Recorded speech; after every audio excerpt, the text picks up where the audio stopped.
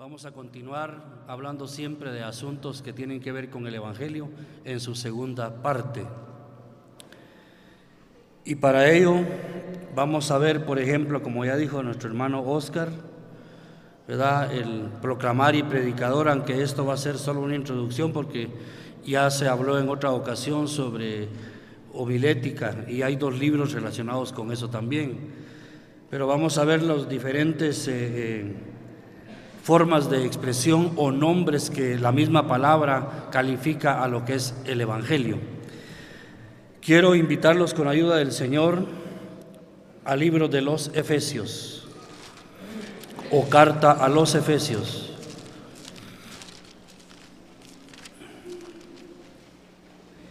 Capítulo 6 y vamos a leer el versículo 19 y 20 como introducción y dice así la palabra del Señor. Y por mí, a fin de que al abrir mi boca me sea dada palabra para dar a conocer con denuedo el misterio del Evangelio, por el cual soy embajador en cadenas, que con denuedo hable de él como debo hablar. Que Él bendiga esta porción en cada corazón. Nuestro hermano cuando subió acá mencionó una frase y él dijo, se abrió la puerta. Es decir, que ya estamos ya dentro de lo que es el estudio. Como espectadores, como oyentes o a la expectativa de lo que el Señor quiere enseñarnos por medio de su Espíritu Santo. Entonces, como ya estamos dentro del escenario, o vamos a entrar a la escena, abrimos el telón con estos dos textos bíblicos y empezamos. Por ejemplo, dice acá la palabra del Señor, y por mí a fin de que al abrir mi boca me sea dada palabra para dar a conocer con denuedo el misterio del Evangelio. Con esto vamos a ver lo que es proclamar. Dentro de lo que es proclamar, encontramos dos palabras o tres, querizo, kerix y también querigma. Querizo es del griego y viene también, hay otra palabra que es kerix. Esto es un sustantivo. Y acá hablamos de predicador, de alguien que anuncia, alguien que proclama alguien que es enviado. Y aquí pensamos en los dones que tienen los evangelistas. Pero ¿solo ellos deben de predicar el Evangelio? Por supuesto que no. Toda la iglesia está llamada. Pero específicamente, eh, querizo se refiere al predicador. Y querigma, por ejemplo, es el contenido de la predicación del Evangelio. Y eso vamos a ir viendo el contenido de lo que es la presentación del Evangelio. Querigma entonces es el contenido de la predicación del Evangelio.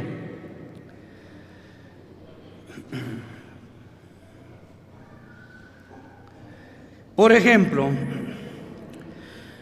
el evangelista no habla en nombre propio, sino que él es enviado y lleva la autoridad cuando nos ha dicho la palabra ir por todo el mundo. Es enviado con la autoridad del Señor.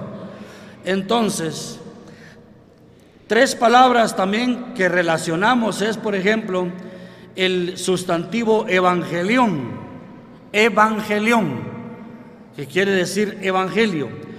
Otra palabra también que encontramos es evangelizo o sea, evangelizar. Esas son las palabras que se relacionan con esto. O sea, anunciar las buenas nuevas, evangelizo. También un sustantivo griego que es evangelistes, que quiere decir evangelista, dotado, como repito, del don. Esta introducción es con relación a proclamar y también predicador, y estas tres palabras son las que encontramos ya en el ejercicio de la práctica, ¿verdad? Evangelión, evangelizo y evangelistes. Ahora vamos a ir vamos a encontrar en la palabra del Señor en la carta a los romanos. Carta a los romanos en el capítulo 1.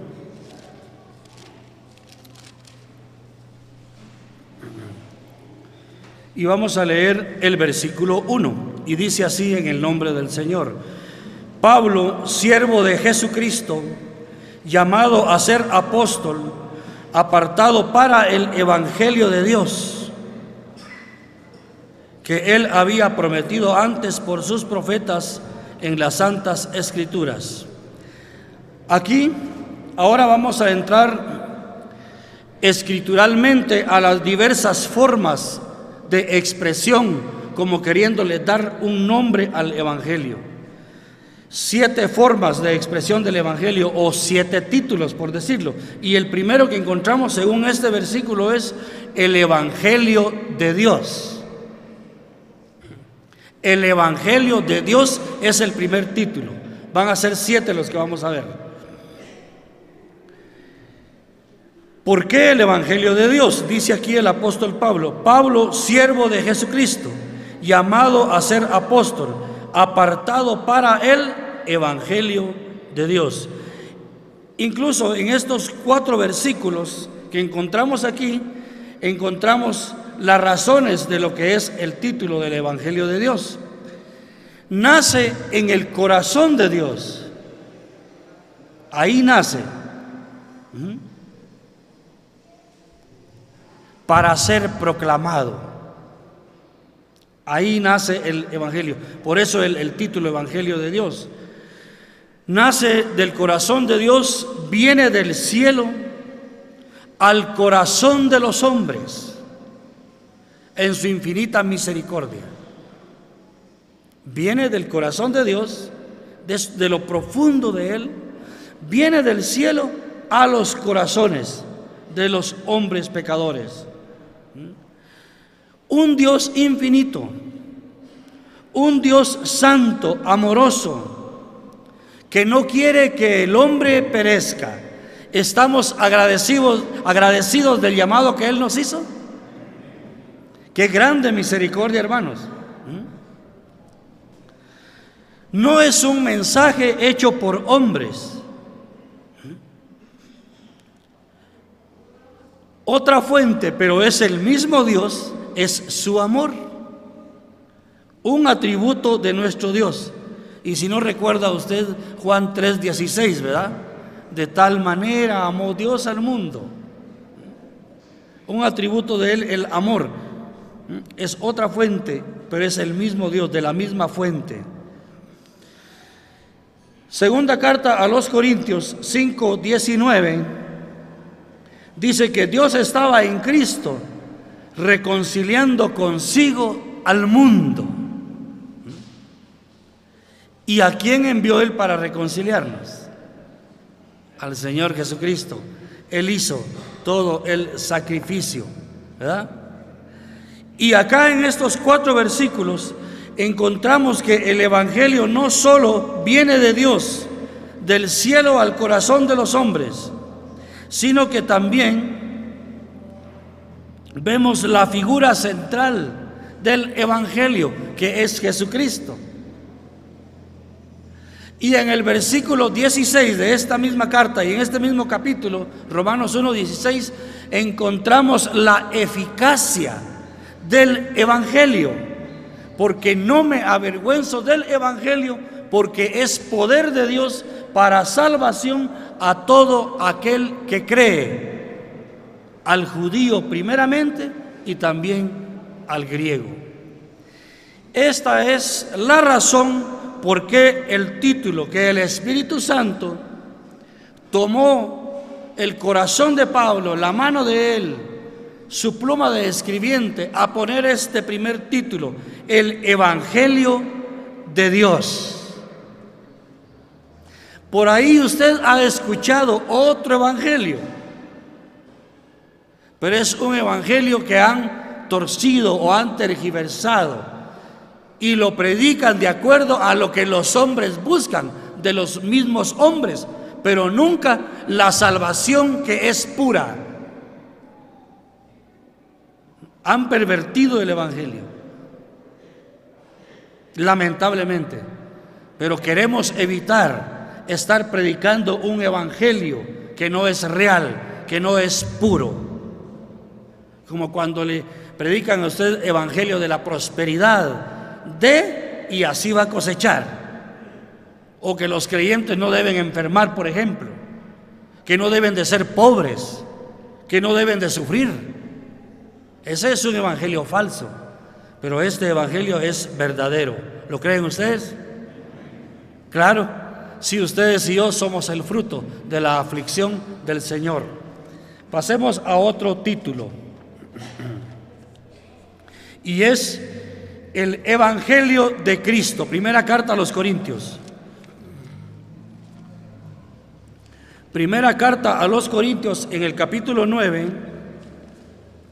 encontramos ahí en el versículo 18, y dice así, ¿cuál pues es mi galardón? Que predicando el Evangelio presente gratuitamente el Evangelio de Cristo para no abusar de mi derecho en el Evangelio. Aquí encontramos una frase y ahora encontramos otro título acá, el Evangelio de Cristo.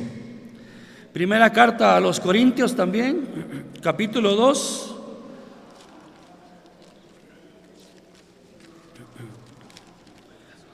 Gracias. Gracias. Capítulo 2, versículo 2. Pues me propuse no saber entre vosotros cosa alguna sino a Jesucristo y a este crucificado. Y el versículo 18 del capítulo 9 dice, ¿cuál pues es mi galardón? Que predicando el Evangelio presente gratuitamente el Evangelio de Cristo para no abusar de mi derecho en el Evangelio. El Evangelio de Cristo, otro calificativo o otro título que encontramos en la palabra del Señor. ¿Por qué razón? Porque habla precisamente acerca del unigénito de Dios, del Hijo de Dios. Y es lo que les decía en Romanos 1.3. Ahí está la esencia del Evangelio, el centro del Evangelio, como lo que encontramos también en la primera carta a los Corintios, capítulo 15, versículo 1 al 4 también habla de que Él vino, ¿a qué vino Él? A padecer, a dar su muerte y muerte de cruz. Esta es la esencia del Evangelio entonces, que habla entonces acerca de su Hijo, que se predica o que se predique a Jesucristo y a este crucificado, dice el otro texto que leímos en Primera de Corintios 2.2 que se predique a este Cristo crucificado.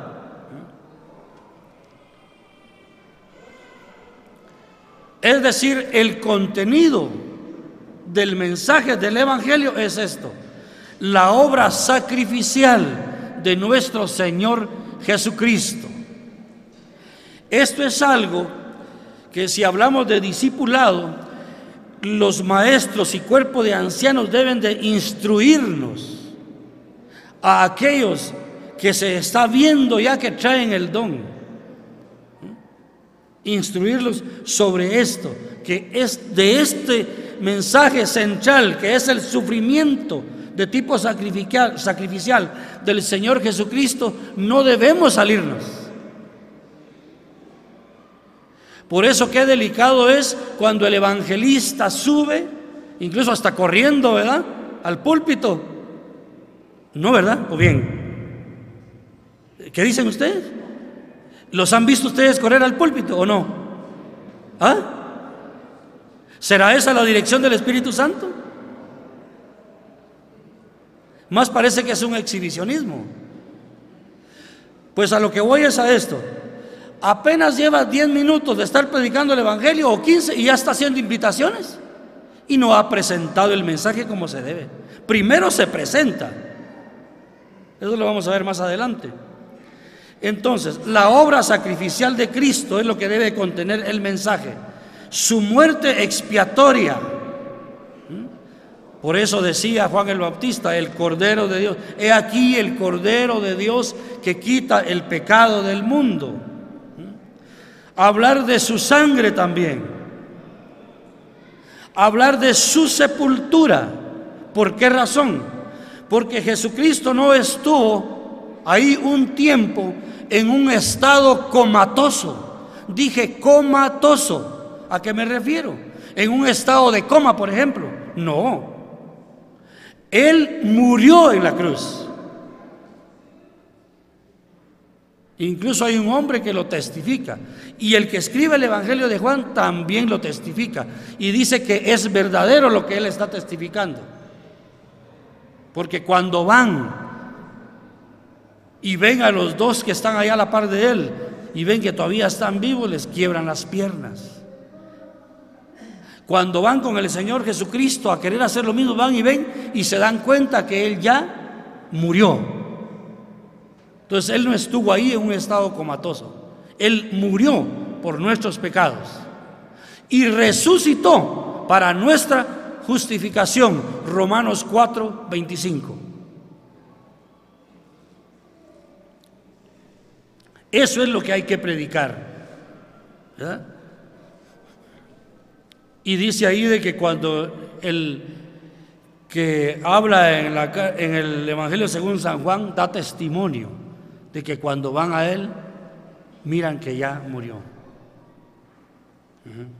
Además de eso, hablar también de su resurrección, de la resurrección del Señor Jesucristo, que fue bajado de ahí y fue sepultado, pero resucitó.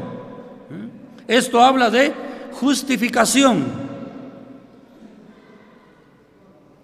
Y cuando somos justificados, sabemos que tenemos paz para con Dios. También esto nos hace pensar de su ascensión. Y cuando hablamos de ascensión, nos habla de un Señor que está sentado a la diestra. Gloria sea su nombre.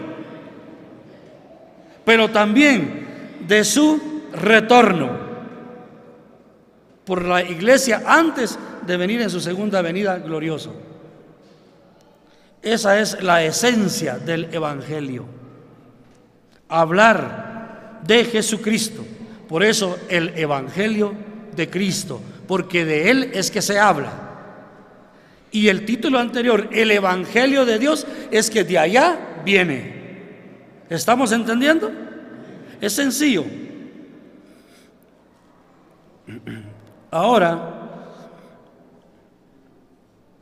por eso les digo, hacer una invitación antes de hablar de o sin hablar del sacrificio no es un evangelio puro. Lo que busca este predicador es otra cosa en los corazones de los oyentes, pero nunca hablarles del nuevo nacimiento. Otra razón importante es por qué se da todo esto. Porque Dios vio que la maldad de los hombres se había aumentado y que estamos en pecado. Eso nos separa de Dios y que también hay una condenación eterna como resultado del pecado. Pero para eso vino Él. Por eso, amados evangelistas que están acá, en el nombre del Señor, hacer una invitación antes de terminar esta exposición. Es incorrecto. Dentro de las razones, por la tarde van a haber algunas cosas que tienen que ver con la invitación, pero hay algunas razones lógicas, razones escriturarias, razones prácticas, y ahí vamos a aclarar un poquito de esto.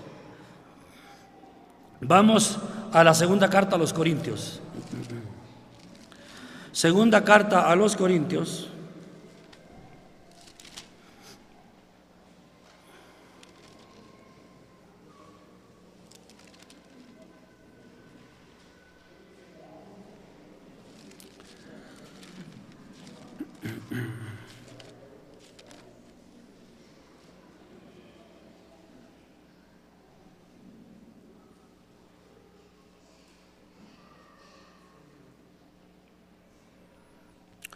No tengo acá el capítulo, perdonen hermanos, pero habla de lo que es eh, en la segunda carta a los Corintios, habla de la gloria de Cristo. Y el título es El glorioso Evangelio de Cristo. El glorioso Evangelio de Cristo. O el Evangelio de la gloria de Cristo, por ejemplo.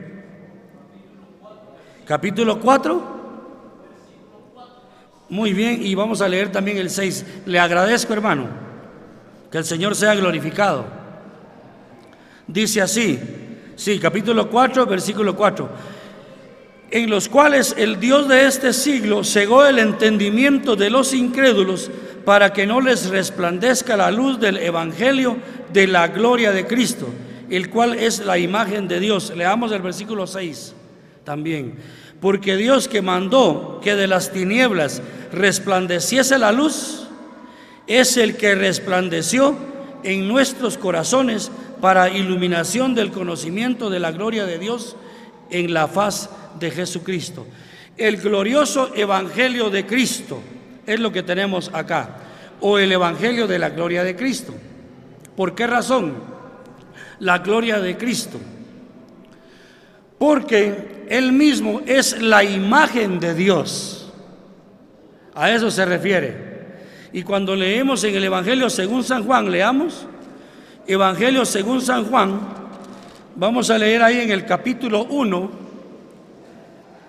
Evangelio según San Juan, capítulo 1, dice así la palabra del Señor. Capítulo 1, versículo 14. Dice, y aquel verbo fue hecho carne y habitó entre nosotros y vimos su gloria gloria como del unigénito del Padre, lleno de gracia y lleno de verdad. Este versículo lo confirma. Ya era la gloria en sí de Dios mismo. Porque dice él, y aquel verbo fue hecho carne, se refiere a Jesucristo, y habitó entre nosotros, y vimos su gloria, gloria como del unigénito del Padre, lleno de gracia y de verdad. Este versículo lo confirma totalmente. Capítulo 17 del Evangelio según San Juan, versículo 5. Ahora pues, Padre, glorifícame tú al lado tuyo con aquella gloria que tuve contigo antes que el mundo fuese. ¿Nos damos cuenta? la misma palabra confirma lo que es este nombre dado al Evangelio, el glorioso Evangelio de Cristo. Versículo 22. Mire algo impresionante, hermano. La gloria que me diste, yo les he dado para que sean uno, así como nosotros somos uno. Pero hablando de la gloria que me diste, yo les he dado, dice él. ¿Estamos agradecidos? Está hablando de un futuro acá, pero él habla en tiempo presente. Para él esto es un hecho. Es un hecho. La gloria que me diste, yo les he dado.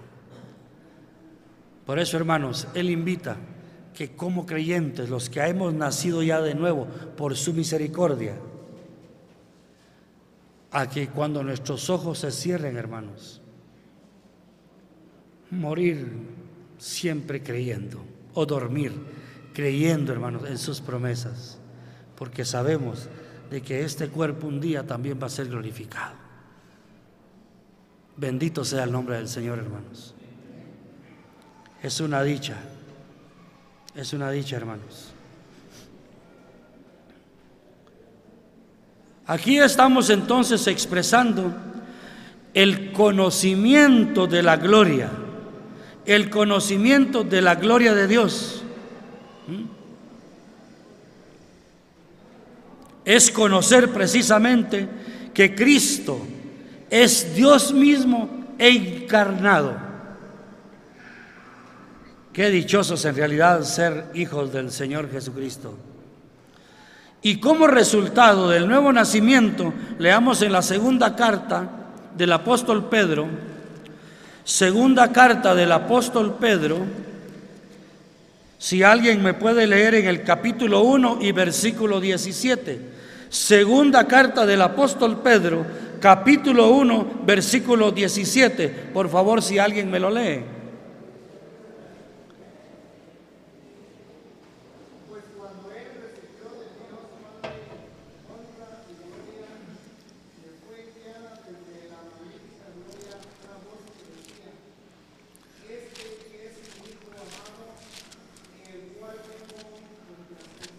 Amén. Nos damos cuenta, segunda carta del apóstol Pedro, capítulo 1, versículo 17. Pues cuando él recibió de Dios Padre honra y gloria, dice, le fue enviada desde la magnífica gloria una voz que decía, este es mi Hijo amado en el cual tengo complacencia. La misma palabra nos sigue confirmando en quién creímos. Cuando hablamos de gloria, estamos hablando de gloria en gloria. Del Padre a Hijo. De gloria a gloria. Mi Hijo amado, dice este texto.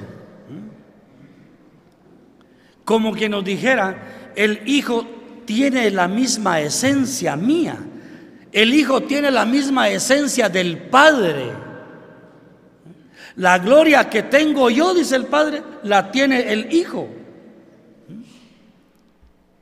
Esencia de gloria, a eso nos referimos. Y gloria apenas lo podemos nosotros entender, aunque tal vez no en su totalidad, pero un día esto nos será claro, como que si nos miráramos al espejo. Hablamos de un resplandor que emana de su pureza divina no podemos expresar esto en palabras, pero algo. Resplandor que emana de su pureza divina. Hablando de gloria. Carta a los romanos.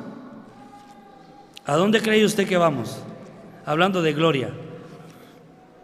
¿A dónde cree usted? Carta a los romanos. Capítulo 8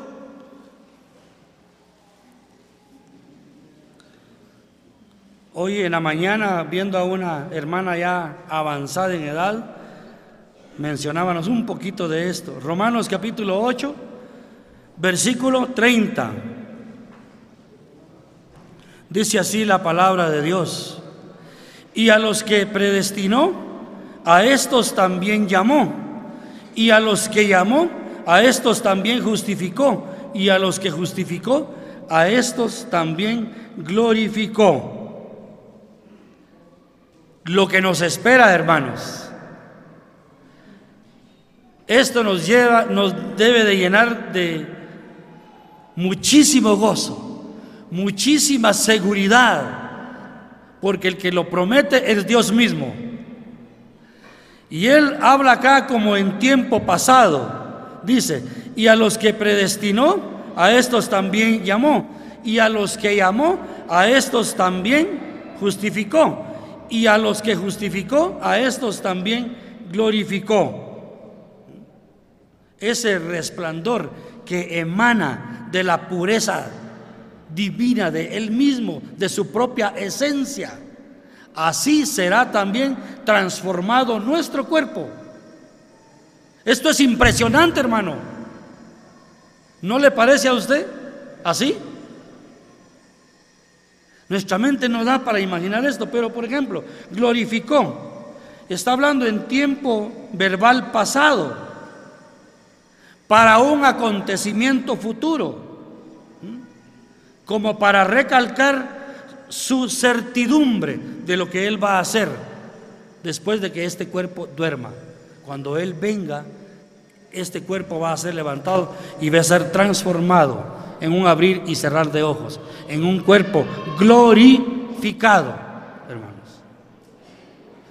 Hay cosas que en Isaías 53, llamado también un poema elégico, o sea, un poema triste, ahí también tiene eh, frases que están en tiempo pasado, pero que van a ser un presente más adelante. El pueblo judío, cuando el Señor se aparezca ahí en su segunda venida gloriosa, ellos van a llorar y van a recitar ese, ese poema ahí en Isaías 53. Ahí se van a dar cuenta a quién fue el que, el que crucificaron. Pasemos al libro de los hechos, libro histórico de los hechos, capítulo 20. Vamos a dejar ese tercer título o nombre dado al Evangelio y vamos a pasar a un cuarto título ahora, el Evangelio de la gracia de Dios. El Evangelio de la gracia de Dios. Hechos 20, 24. Dice así la palabra del Señor. Pero de ninguna cosa hago caso, ni estimo preciosa mi vida para mí mismo, con tal que acabe mi carrera con gozo y el ministerio que recibí del Señor Jesús para dar testimonio del Evangelio de la gracia de Dios. Este es otro título que encontramos el Evangelio de la gracia de Dios. Yo creo que este término para nosotros tal vez es menos complejo, puesto que usted sabe qué quiere decir Evangelio, usted conoce muy bien este lenguaje y qué quiere decir gracia, por ejemplo. ¿Verdad? ¿Verdad que sí lo conocen? Sí, es un lenguaje muy familiar, el Evangelio de la gracia de Dios. ¿Verdad? un regalo inmerecido. Y es un, algo que se ofrece por las buenas nuevas del Señor Jesucristo. Está hablando de el carácter del Evangelio. Porque hermanos, ¿qué hombre o qué mujer se puede salvar a sí misma? Nadie. ¿O quién puede comprar la salvación? Nadie. No hay cómo comprarla. He aquí entonces la impotencia del hombre de salvarse a sí mismo. El Evangelio de la Gracia, un regalo de Dios. La depravación de la raza humana o la raza adámica hace que el mensaje de la gracia sea necesario para proclamarlo a los hombres pecadores. La gracia nos libra, o es decir, nos da lo que nosotros no merecemos. La gracia nos da lo que nosotros no merecemos recibir un regalo que no merecemos. Acompañado de la misericordia, la misericordia nos da o nos libra de lo que nosotros merecemos, un castigo eterno. El Evangelio de la Gracia, un regalo, acompañado de ese trabajo incansable del Espíritu Santo de convencerle de pecado al hombre. Juan 16, 8. Sobre la base del sacrificio de Jesucristo allá en el Gólgota. Por eso dice allá aquel versículo que conocen muy bien los evangelistas y casi todo el pueblo de Dios, Efesios 2, 8 y 9 y 10, ¿verdad? Porque por gracia sois salvos, por medio de la fe y esto no de vosotros, pues es un don de Dios. No por obras, para que nadie se gloríe. Está claro, ¿no? Porque somos hechura suya. Eso dice la palabra del Señor. Porque somos hechura suya. Ah, hermanos, el Evangelio de la gracia de Dios. Leamos Romanos capítulo 3, aquí adelantito. capítulo 3, y vamos a leer ahí un versículo. El versículo es el 24 y dice así la palabra del Señor. Siendo justificados gratuitamente, dice, mire, por su gracia, mediante la redención que es en Cristo Jesús. Ahora vamos a leer, para dejar este cuarto título, y vamos a ir al quinto, el Evangelio de la Paz, Efesios 6.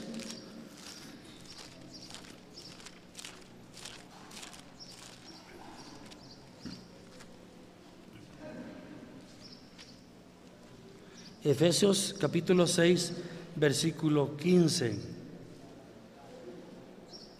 Dice así la palabra del Señor. Y calzados los pies con el apresto del Evangelio de la paz. Carta a Colosenses. Capítulo 1 y versículo 20. Dice así la palabra del Señor y por medio de él reconciliar consigo todas las cosas, así las que están en la tierra como las que están en los cielos, haciendo la paz, mediante qué? La sangre de su cruz, el Evangelio de la paz. La paz, además de ser un fruto del Espíritu Santo, es el resultado del Evangelio que nos lleva al nuevo nacimiento. Por eso dice también allá, usted sabe lo que dice, ¿quién sabe ese versículo? Seguro que lo saben, Romanos 5.1. ¿Cómo? Justificados pues por la fe, tenemos paz para con Dios. ¿Nos vemos? ¿Eh? El Evangelio de la paz. Y también nuestro hermano leyó un texto acá, segunda de Corintios 5:21. Al que no conoció pecado, por nosotros lo hizo pecado, para que nosotros fuésemos hechos justicia de Dios en él.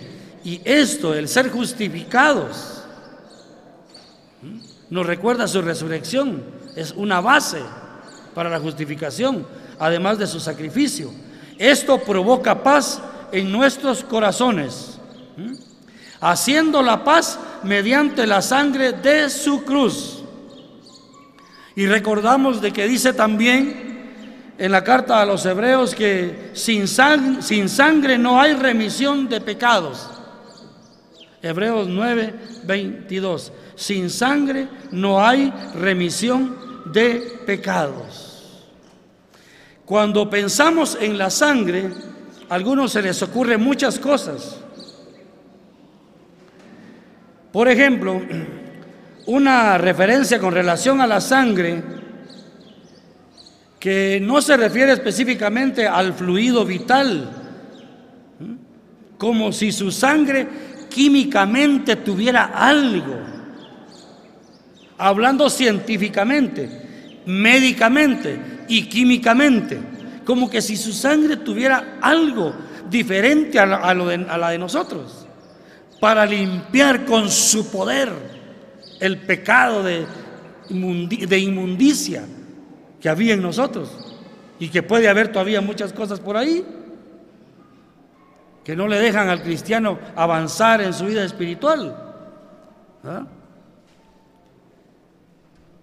Eso a veces se piensa, ¿no? ¿Qué tan diferente sería la sangre de Él? ¿Cuál es eso que hay en la sangre de Cristo?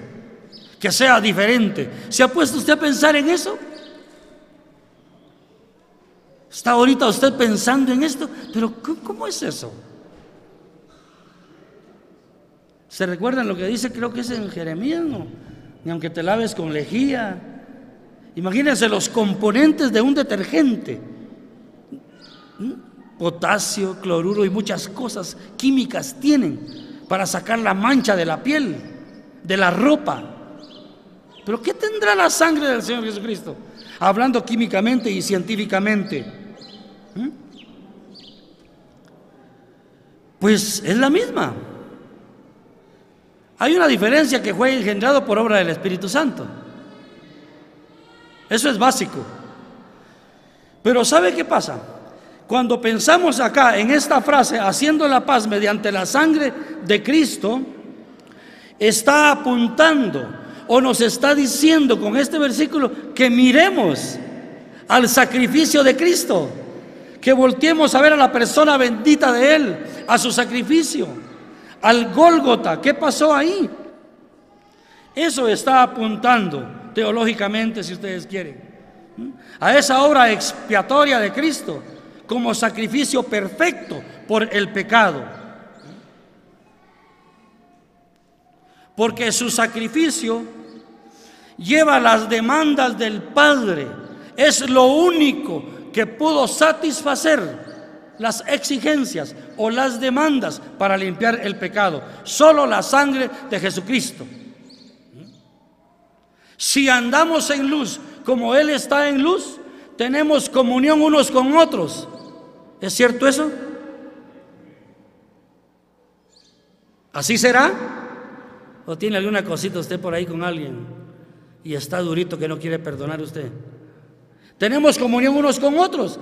Y la sangre de Jesucristo, su Hijo, nos limpia de todo pecado. Poderosa sangre, hermanos. Cuando hablamos de la sangre, hablando eh, clínicamente, buscaba algo sobre esto. Por ejemplo, es un líquido circulante, viscoso, que lo forman los glóbulos blancos y los rojos. También se habla de hormonas, se habla de plaquetas, se habla también de eritrocitos y leucocitos. Los eritrocitos, por ejemplo, intervienen en la coagulación y control de las hemorragias. También hace funcionar y transportar el oxígeno en la sangre arterial.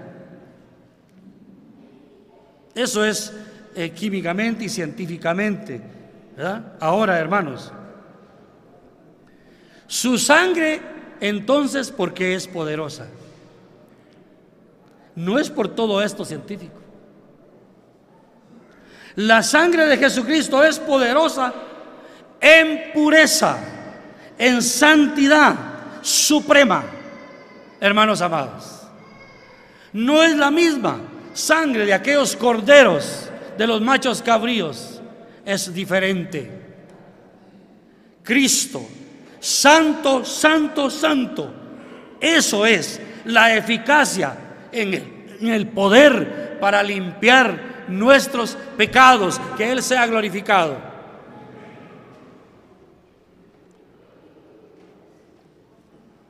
Dice que fue tentado en todo. Agregue usted lo demás. ¿No me escucharon? Dice que Él fue tentado en todo.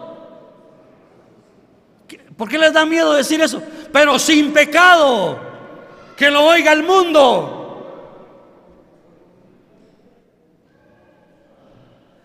Esa es la razón. Por eso satisfizo las demandas, las exigencias ante el Padre Santo.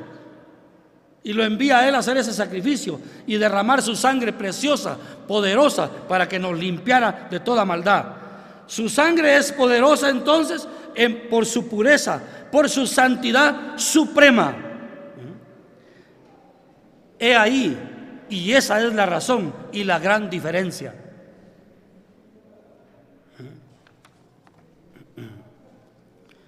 Vamos a ir a algo más, Efesios 1:13.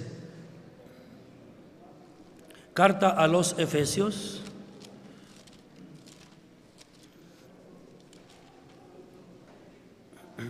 Y vamos a ir a otro título, el Evangelio de vuestra salvación, Efesios 1.13, versículo que usted conoce muy bien. En él también vosotros, habiendo oído la palabra de verdad, el Evangelio de vuestra salvación, y habiendo creído en él, fuiste sellados con el Espíritu Santo de la promesa, el Evangelio de vuestra salvación. Está hablando de una apropiación individual que cada uno de nosotros, los nacidos de nuevo, hemos experimentado. ¿Ha sentido usted cambios en su vida? De eso está hablando el Evangelio de vuestra salvación o el Evangelio de su salvación. De vuestra salvación. Habla de apropiación individual. Se, esto se hace realidad sobre la base de oír el Evangelio. Así que por el oír viene la fe y oír la palabra de Dios. Romanos 10, 17. También se hace esa apropiación individual y por eso dice el apóstol Pablo a los de Éfeso y a todos los creyentes el Evangelio de vuestra salvación. ¿Por qué razón también? Por el creer y recibirle, según el Evangelio, según San Juan capítulo 1 y versículo 12. ¿Se recuerda ese versículo usted? ¿Cómo dice? Juan 1.12. A los que ya le recibieron y a los que creen en su nombre, les dio potestad de ser hechos hijos de Dios. El creer y recibirle. Entonces sí, se hace una realidad este título, el Evangelio de vuestra salvación, porque ya, le, ya oyeron el Evangelio. ¿Y qué produjo? Nuevo nacimiento. Por haber creído en el sacrificio de Cristo y haberlo recibido al Señor, reconocerlo como su Salvador. Entonces el Evangelio de vuestra salvación. No podemos olvidar el nuevo nacimiento que habla Juan 3.3.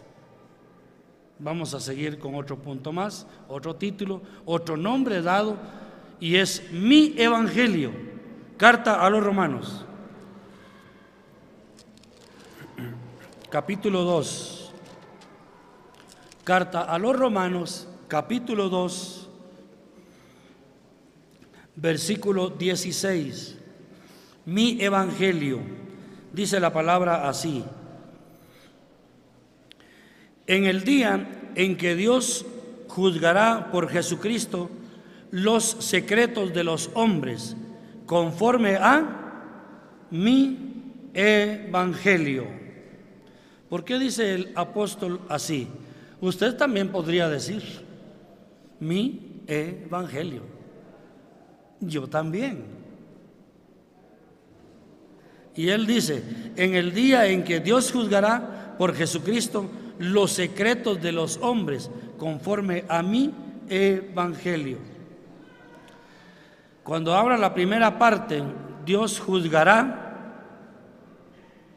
en aquel día, se refiere al juicio final, Y cuando dice ahí los secretos de los hombres, los motivos, por ejemplo, que se esconden tras las acciones humanas. A eso se refiere. Mi evangelio, dice el apóstol Pablo acá. Va a haber un juicio final, usted lo sabe, y los secretos acá, los motivos que se esconden tras las acciones de los hombres o las acciones humanas. ¿Usted qué piensa al respecto de esto? Esas acciones que se esconden. ¿Cree usted, no habrá uno que otro creyente por ahí que esconde todavía algunas cositas ante la autoridad eclesiástica? ¿Usted qué dice de eso? ¿Me escuchan? ¿Me escuchan? ¿Usted qué dice de eso? Si bien es cierto, nosotros no vamos a estar en ese juicio final, pero sí vamos a estar ante el tribunal de Cristo. ¿Es así o no? Y vamos a ser juzgados según lo que hayamos hecho. Sí, hay uno que otro creyente que se atreve a mentir ante un cuerpo de ancianos o a negar alguna acusación. Pero al Señor no lo podemos engañar. A Él no lo podemos engañar. Como creyentes estamos llamados a, a confesar, ¿verdad? A no estarnos escondiendo. Ahora aquí mi evangelio se refiere el apóstol Pablo a algo que él ya creyó. Por eso él se apropia de eso, mi evangelio. Y además de eso, porque habla él de juicio y tras los secretos de los hombres. Él con toda autoridad lo dice, pero ¿por qué? Porque es alguien que proclama el evangelio que ya recibió, él lo entrega también a los hombres. No lo encubre, no lo esconde. Este es un ejemplo que estamos llamados los cristianos también. Además de eso, la gran comisión que nos ha encomendado el Señor, ir por todo el mundo y predicar el Evangelio a toda criatura. Mi Evangelio no nos da opción a que lo escondamos, no, sino que lo entreguemos también. Por eso Él dice acá, mi Evangelio, lo que Él ya creyó o recibió, algo más, lo que Él también ya experimentó, ese resultado de haber nacido de nuevo y que también compartió con la humanidad. Cuánto oraba él también por sus hermanos judíos, ¿verdad? Esto es un ejercicio que nos invita a nosotros a hacerlo. Veamos en la primera carta a Timoteo, un creyente responsable. Primera carta a Timoteo, capítulo 1, versículo 11. Y dice así, según el glorioso evangelio del Dios bendito, que a mí me ha sido, mire, encomendado, dice. ¿Dónde están acá los evangelistas? ¿Dónde están? Los que tienen don de evangelista. Le ha sido encomendado a usted este trabajo muy especial. Y a la iglesia también, también. Entonces, el hecho de poseer el Evangelio trae la divina responsabilidad u obligación también de proclamarlo, querigma, el contenido del Evangelio, proclamarlo, entregarlo a la humanidad. Ese es el deber. Por eso el apóstol Pablo exclama a él, porque me es impuesta necesidad. Y agrega otra frase paralela, ay de mí si no anuncio el Evangelio. Ay de mí si no anuncio el Evangelio. Él no lo va a demandar. ¿Se recuerdan de la otra ocasión allá en la asamblea cuando, cuando empezamos hablando del Evangelio, la predicación del Evangelio. Esta es la segunda parte ahora. El Señor me concede en una de las pasarelas del trébol repartir tratados, les he comentado. Ah, eh, traje algunos pocos y algunos hermanos cumpliendo, sintiéndose responsables, varios de ellos, no sé si 10, 12, se llevaron su paquete de tratados. Y un hermano de Tacaná después, como al mes, me llama. Mi hermano, necesito más tratados, me ¿Me puede enviar más? Con gusto, le dije, ¿cuántos quiere? Envíeme dos mil, me dice. Y se le enviamos ahí por un transporte cumpliendo con lo que él sintió en ese estudio. Y hoy dentro del libro hay ahí también, les van a pasar ahí una, una ilustración de esto. Vienen ahí dos ejemplos de cómo hacer un tratado.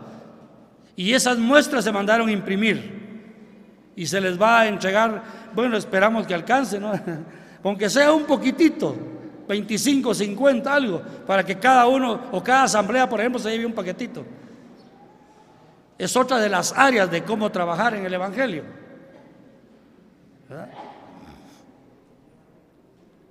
Ahora, hablando de responsabilidades, entramos ahora a unas reflexiones con relación a esto que estamos empezando a oír. ¿Tiene el don de evangelista usted? ¿Sí o no? Los que el Señor les ha dado ese don, lo tienen ahí. Ahí lo tienen. Mayor responsabilidad tenemos. Mayor responsabilidad tenemos. Pero todos estamos llamados a evangelizar. Mi evangelio ya lo creyó, ya lo experimentó. Ahora el trabajo es compartirlo. Es deber de la iglesia también. Ancianos, ¿cuántos ancianos hay acá? Están con el compromiso de en sus asambleas programar servicios evangelísticos. Y hay grupos que van a las casas a hacer cultos, ¿verdad, hermanos? Eso es buenísimo también, presentar ahí el Evangelio. Ahora, un buen testimonio es la evangelización sin palabras.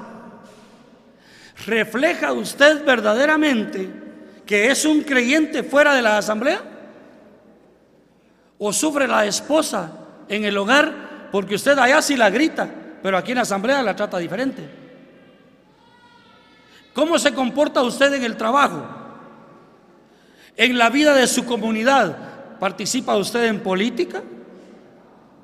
¿Participa usted en otras cosas que hace, que practica la comunidad, que ya no son para un creyente? Usted está negando el evangelio ahí, si es que en realidad nació de nuevo. Puede ser que no ha nacido de nuevo. Puede ser, estoy diciendo. No lo puedo afirmar. Dios lo sabe. Pero si usted verdaderamente nació de nuevo, está llamado a dar un buen testimonio. Con eso usted está proclamando el Evangelio sin palabras, por su conducta como creyente. O tiene todavía actitudes en la iglesia o en la misma obra de Dios, actuando como que no fuera creyente. Ahora, nosotros que ya creímos y que ya estamos experimentando el resultado del Evangelio, ¿qué debemos hacer? Compartirlo. Algo más para nuestros hermanos ancianos es esta pregunta. En la asamblea que el Señor le ha encomendado, hermano anciano, ¿qué proyectos tiene para la evangelización? ¿Qué proyectos tiene para la evangelización o para continuar para los que lo están haciendo efectivamente?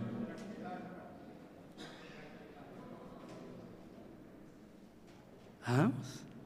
Interesante esto, interesante hermanos. Es una gran responsabilidad, pero no estamos solos. El Señor está con nosotros, hermanos. Y poderoso es Él para inquietarnos para excitar nuestros sentidos espirituales y llevarnos a estos propósitos de la gran comisión de ir y predicar el Evangelio a toda criatura. Muchas cosas podemos hacer sin salirnos de la doctrina del Señor.